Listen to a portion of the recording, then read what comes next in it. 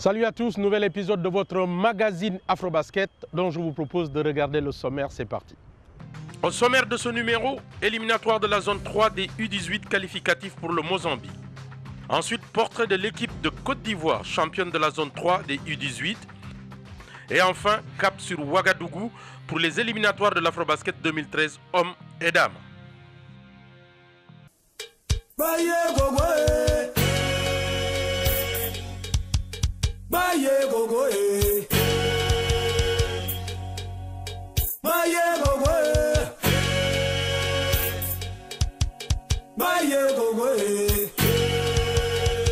Il y a un adage anglais qui dit No contribution, no drink.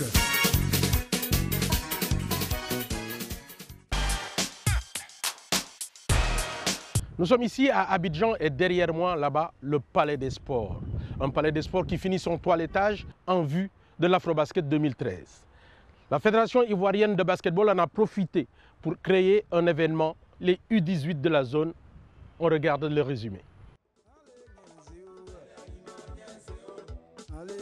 Sur les 8 pays qui devaient disputer les éliminatoires de la zone 3, seuls 4 ont fait le déplacement d'Abidjan. Il s'agit du Libéria, du Ghana, du Nigeria et du pays hôte, la Côte d'Ivoire.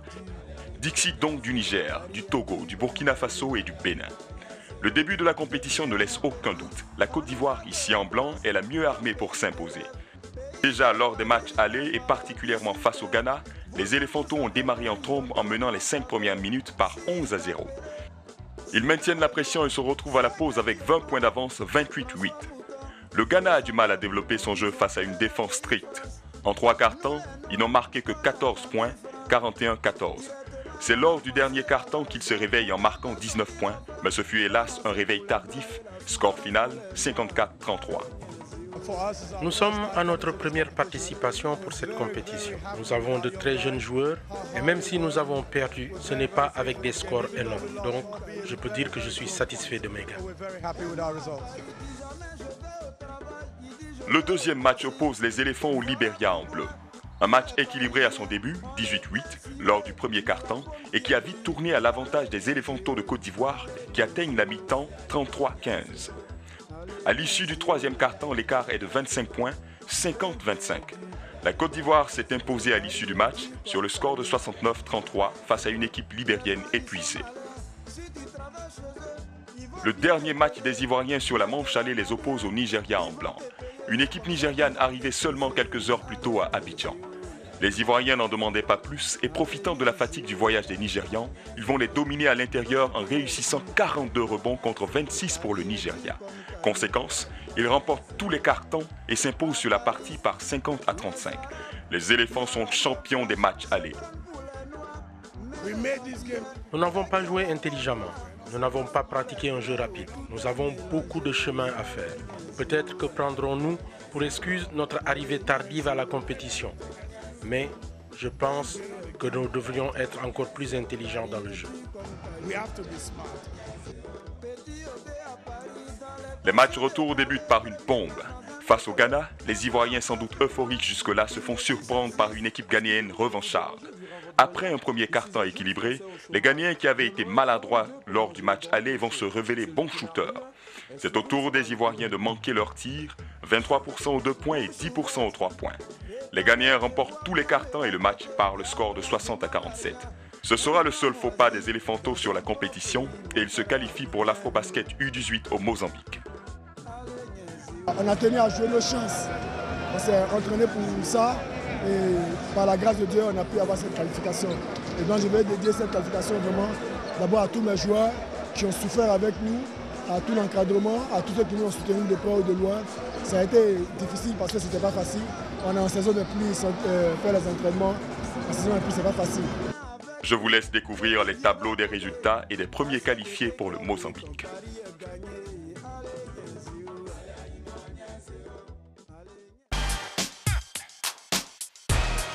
À l'issue du tournoi, une équipe a crevé l'écran. C'est celle de Côte d'Ivoire qui s'est qualifiée pour le prochain Afrobasket U18 à Maputo. On regarde leur portrait.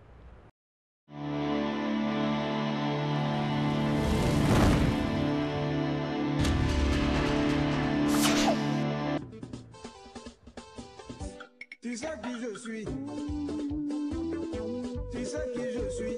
C'est l'équipe qui a dominé ce tournoi éliminatoire de la zone 3 en ne concédant qu'une seule défaite en 6 matchs avec 355 points marqués et 235 encaissés. S'il est vrai que le niveau de la zone était très moyen, il n'en demeure pas moins que les éléphantaux ont démontré de bonnes choses et quelquefois un peu trop. Regardez plutôt cette action. Fermez, fermez, fermez, sautez pas. Go, go, go. Allez, allez.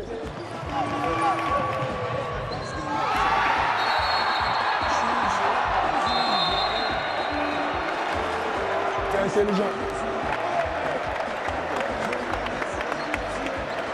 De faire quoi toi Hein Reste ici. De faire quoi toi C'est intelligent. Tu veux montrer quoi doucement. Oh, c'est seul. C'est une jeune équipe qu'on a, on a pris, nous sommes en train de monter et ça ne sera pas facile, on va travailler vraiment sur tous les aspects qui nous ont manqué ici.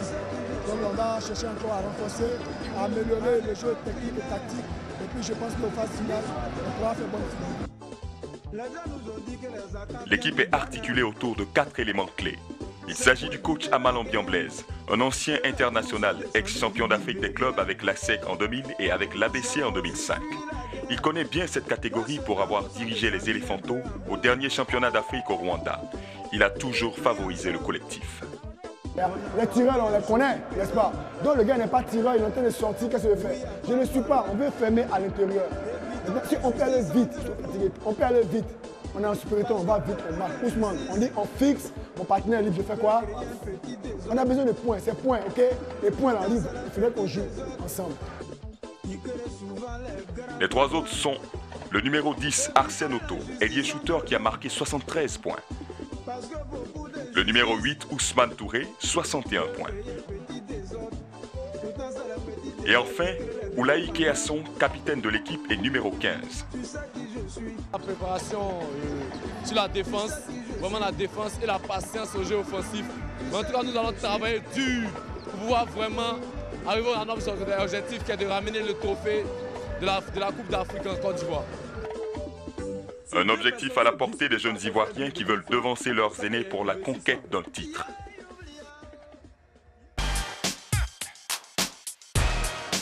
Maintenant, destination le Burkina Faso où se disputaient les éliminatoires de la zone 3 qualificatif pour l'Afrobasket ici à Abidjan 2013. Et on commence par les hommes.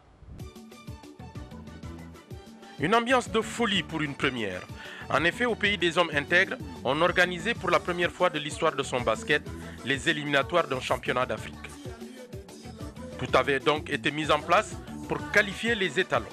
Ceux-ci vont tout de suite rentrer dans la partie en s'imposant dès le premier carton par 17 à 9.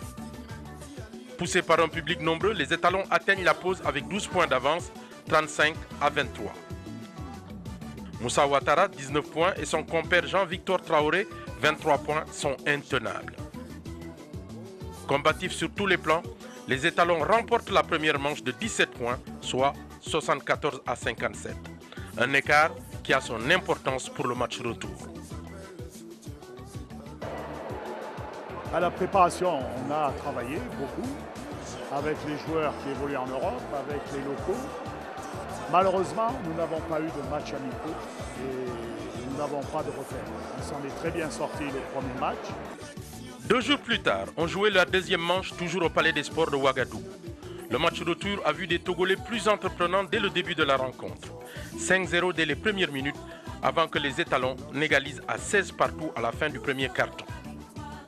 Avec le pivot Kwame Ayayi, 24 points, les éperviers s'envolent et mènent à la mi-temps 40 à 25.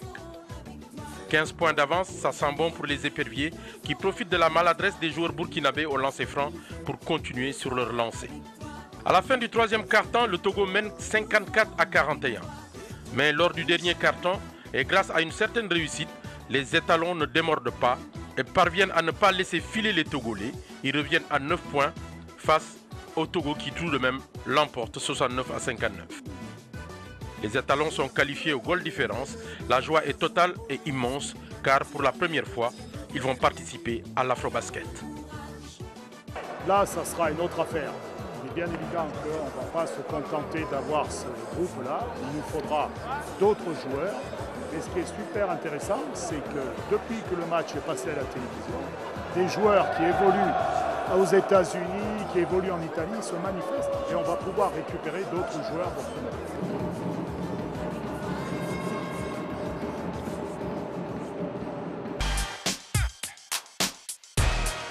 Pour les dames, deux équipes s'affrontaient. Je vous propose de regarder le résumé.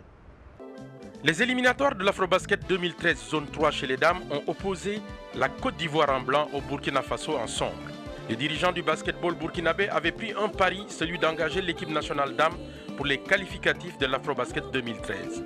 Un match a priori déséquilibré car opposant une équipe ivoirienne expérimentée qui compte à son actif plusieurs participations aux phases finales de championnat d'Afrique face à une équipe du Burkina Faso qui découvre la compétition.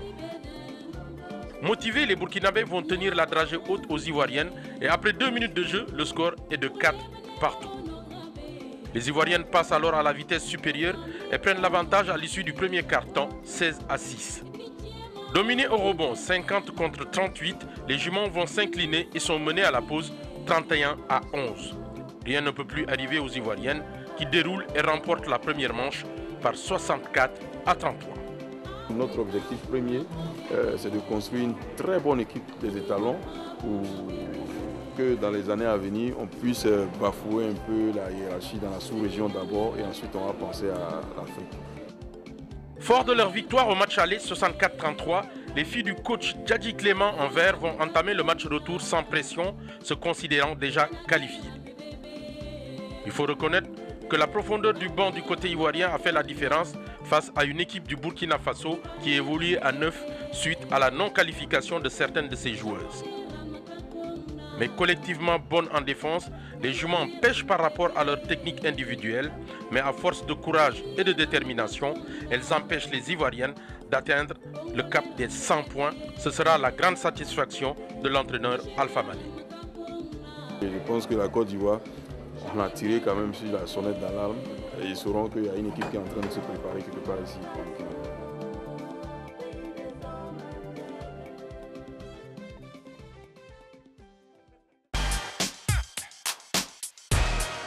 Voilà, Afrobasket, c'est fini. Restez fidèles à la suite de notre programme. Allez, ciao.